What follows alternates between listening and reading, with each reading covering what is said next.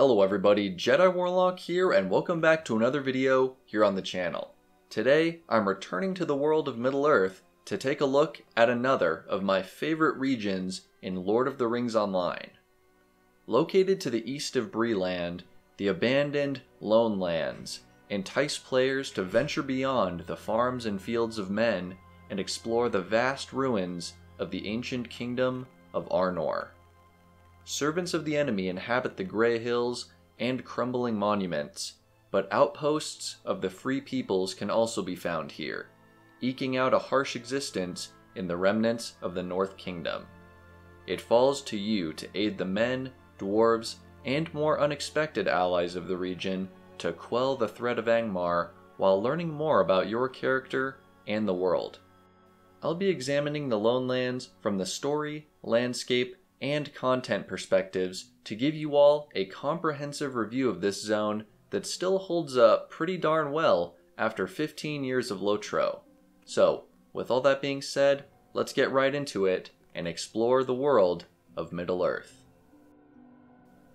Much like Bree-land and the North Downs, the Lone Lands are a region long past their prime.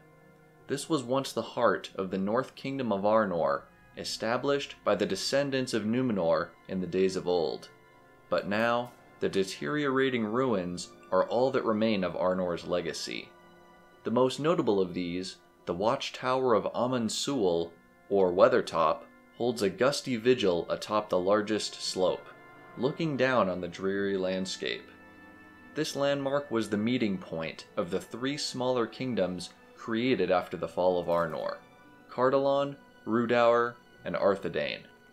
While two of the smaller countries fell due to internal conflict and Angmar's influence, the hill men of Rhudaur maintain a presence in the northeast and have come under the sway of Sauron's servants.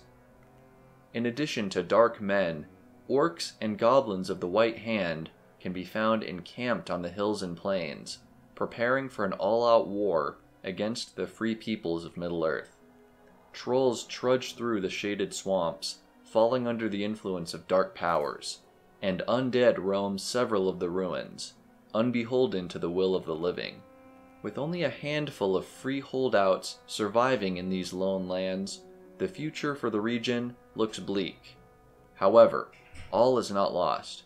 The Rangers of the North, though few in number, have sent Candaith, one of their own, to help quell the influence of evil. Players helping the nearby free peoples on the border of Bree-land will encounter this Lone Ranger near Weathertop and help take down nearby orcs threatening the lands of men. Traveling across the countryside, heroes will encounter camps of treasure hunters, dwarves, and even the mysterious Jorthkin, a type of earth giant who have largely resisted the enemy's control. Players will eventually journey to the dilapidated fortress of Ostguruth, where an unexpected friend welcomes the player. Radagast the Brown, one of the five wizards, has come to the Lone Lands as well, and works to defeat the gaunt lord Ivar the Bloodhand, who dwells within the secluded Garth Agarwen. Striking out from this place of safety, you as the player fight alongside Radagast and the defenders of Ostguruth to enter and secure an outpost in the Red Swamp, the doormat of Ivar's domain, before bracing for an attack on the stronghold itself. Before we dive into exactly how the quests progress in this region, let's go ahead and take a look at a few of the major areas you'll be exploring throughout your Lone Lands adventure. If you venture into the Lone Lands on the Great East Road, the wide country of Auninlos opens up and greets your player. The Forsaken Inn, a welcoming, if run down, quest hub, offers players their first round of quests, which sends them into the nearby hills and ruins to deal with the threats here. As one of only two major quest hubs in the region, this is often where newcomers to the zone group up and begin their journeys, or venture down into the basement to explore the long forgotten tunnels of the Forsaken Inn itself. For those who entered the Lone Lands by a different road, The Weather Hills are home to both Candaith's Ranger Camp as well as many orc and goblin bases, all tucked under the shadow of Weathertop itself. After Hobbiton and the Prancing Pony, this is one of the main landmarks players can visit in game, and its scale and height are not underrepresented. Traveling to the top for the first time is a lengthy trip, but it offers a magnificent view of the region. Opposite Weathertop, on the southern slopes of the region, the sprawling ruin of Minas Eriol, overrun by the forces of Isengard, is in need of liberation. A band of treasure hunters has taken up camp nearby, providing players with a jumping off point to enter the ruins and uncover their secrets. As an added note, this area has multiple levels connected by bridges and staircases, giving players an added environmental challenge that is often left out of typical 2D centric MMOs. The center valley of the Lone Lands, Nain Enidh, is home to multiple grandiose ruins, all of which are overrun by various factions of the enemy, save one. Ostguruth, bastion of the Eglain humans, serves as the de facto capital of the region. Radagast's tower can be found here also, and is a major location within this part of the epic storyline. Haragmar is found just to the east of Ostguruth, a swampy pit filled with corruption from the Red Swamp. The menacing Red Pass connects this area into the Red Swamp to the north. It is bordered to the south by Talith Gone, the easternmost section of the Lone Lands, which is home to the Earth Giants and another few camps of the Eglain.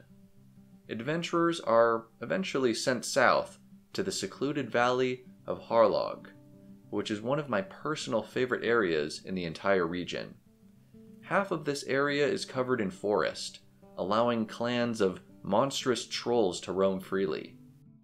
I'm not sure what this web covered entryway is exactly. Maybe a forgotten or future area? Anyway, on the other side of the valley lies a cursed ruin sinking into the marsh, a slimy hideaway for wights and their overseers. I know it might be easy to overlook this area, especially if you're bouncing between the Lone Lands and the North Downs, but trust me, it's a neat little enclave that's worth checking out. The northernmost valleys of the Lone Lands envelop Agamaur, the Red Swamp, a massive citadel of Rhudaur that has since fallen. Foliage, crimson pools, and the dead infest the broken pillars and walls, and the overgrown nature of the area makes navigation maze like. It is here where the Eglain first press toward Garth Agarwen, Ivar's seat of power.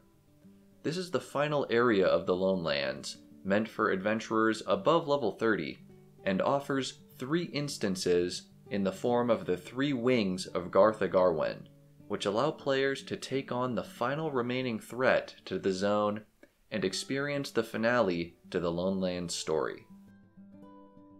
The Lone Lands are a free content area within Lotro, meaning you won't have to turn in any of your hard-earned Lotro points to unlock the quests here. This region is designed for players levels 22 to 35, and to the best of my knowledge, the free content also includes all three wings of Garth Agarwen and the Inn of the Forsaken bonus instance. Quite a lot to do in a region that, at first glance, might just look like a bunch of abandoned hills. Overall, the quests in this region are expertly planned and follow a logical path, both location and story wise.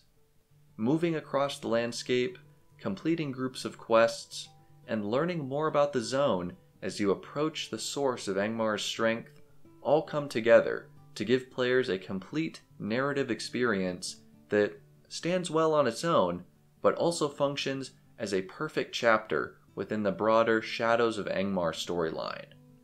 This zone is really where the hand-holding disappears, and Lotro's impeccable game progression allows the player to group up or play solo as they travel across the environment from one objective to the next.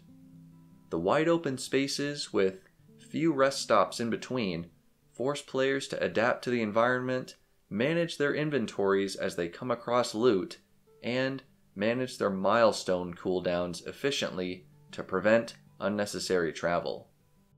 One thing I did want to mention is the split in content that occurs near the end of the Lone Lands questline. After entering Agamaur and reaching level 30, the Eglain give you the opportunity to venture to the North Downs and continue the epic storyline there. I've made a separate video analyzing the North Downs, which you can check out here. But for those really jamming with the Lone Lands story, and maybe already have a group put together, I would highly encourage players to continue with the remaining quests here in the Red Swamp and clearing out Garth Agarwen. It's a satisfying end to the chapters of the story told thus far, wrapping up part of the Shadows of Angmar questline that began in Breeland, Ered Luin, and the Shire. To wrap things up, I'd like to reiterate that the Lone Lands aren't just a great standalone region, but they're also an excellent part of Lotro's wider Middle Earth. A bridge between what your character has already experienced and all the adventures that are yet to come. Even with Before the Shadows new alternative regions for this level range, I think we can all agree the Lone Lands have a special place in the hearts of many Lotro players and deserve to be regarded as one of the best. Thank you all so much for watching. If you enjoyed today's region breakdown, make sure to like the video, comment down below with your thoughts, subscribe if you're new to join the Jedi Order, and until next time, peace.